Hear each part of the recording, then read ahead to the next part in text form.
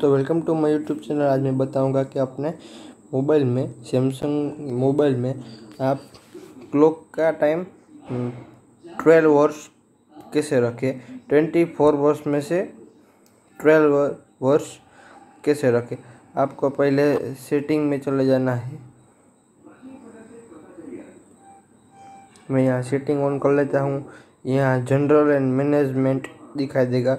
आपको क्लिक करना है। और फिर यहाँ आपको डेटा एंड टाइम दिखाई देगा।